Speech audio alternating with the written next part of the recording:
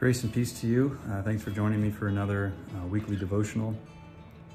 I was thinking this week, um, I went to go boil some water in my kitchen. I was gonna boil some eggs and uh, I got the water in the pot and I turned on the, uh, the heat to high and I and, and then I got a phone call. So I went to the other room and you know, a few minutes later, I started hearing this uh, crackling noise and lo and behold, I returned to the kitchen and the water was boiling over. And I thought to myself, as I experienced this week of anxiety and difficulty in our culture right now, that um, we have a lot of heat right now in our world. And, um, and when you don't monitor that heat, um, the water begins to boil over in unhealthy ways. And, and I think that's where we find ourselves in a lot of ways in our own spirituality.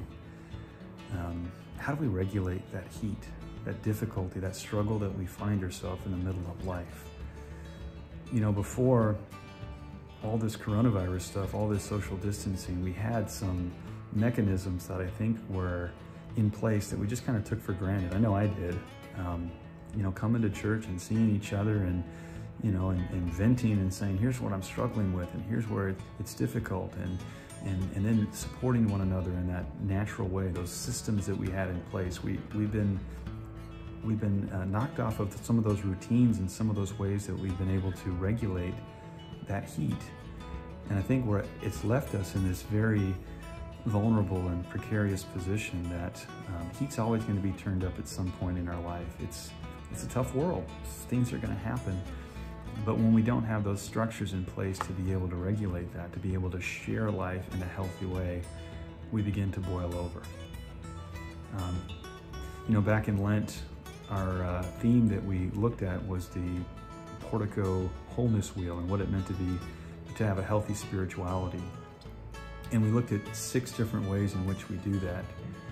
As we hear this whole coronavirus thing, um, I'm really hearing two things about health right now. One is physical health. How do we stay safe and healthy with our bodies? How do we not get sick and transmit viruses? And then the other, you know, big focus has been how do we get this economy going? How do we keep people working? How do we have a livelihood? Um, but what I haven't heard a lot of is um, social health and those other things that we study, intellectual health and emotional health, right? And uh, vocational health. What does it mean to be God's people in this time?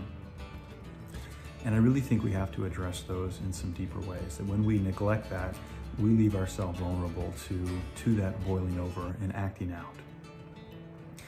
Now, when we turn on the news and we see, um, we see such discord in our society right now. We know that tensions are bubbling over. And I think it has a lot to do with we don't have these mechanisms in place to engage one another in healthy ways.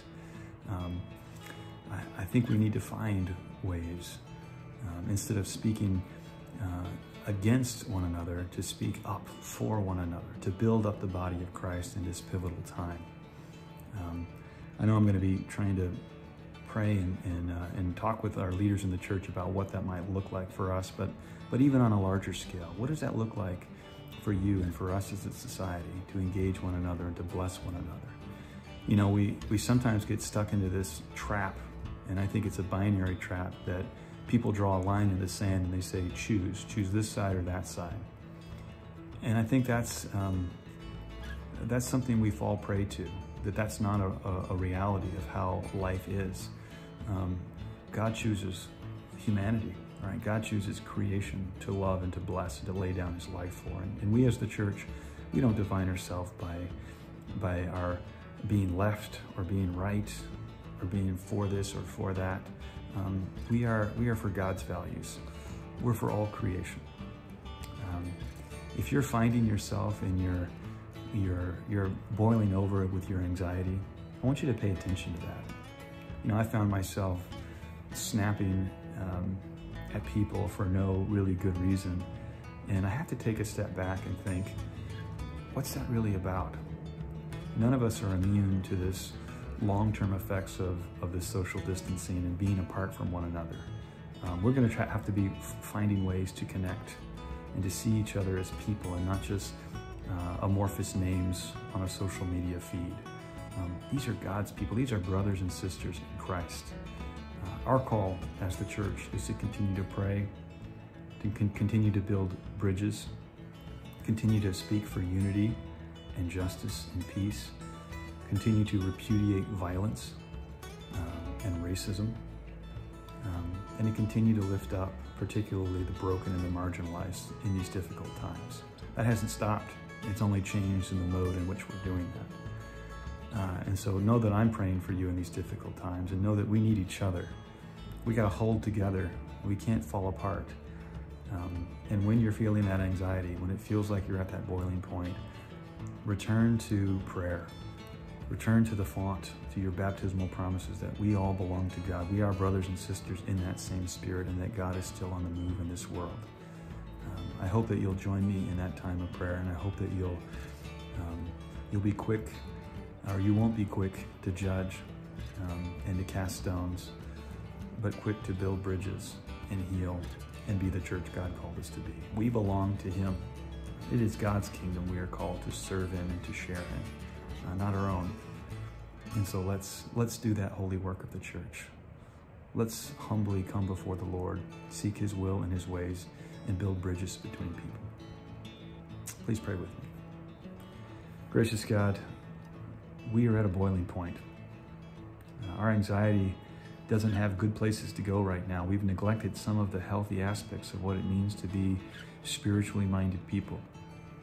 Help us to have a network of uh, and a community that love one another and that embody your values for the world. Help us to seek understanding and reconciliation, to repudiate the uh, violence um, and the racism um, and the chaos that we see all around the world right now and help us to build one another up in love, to listen to one another, um, and to help be uh, promote the loving community uh, that you that you bless and ordain as your church. In Jesus' name we pray. Amen.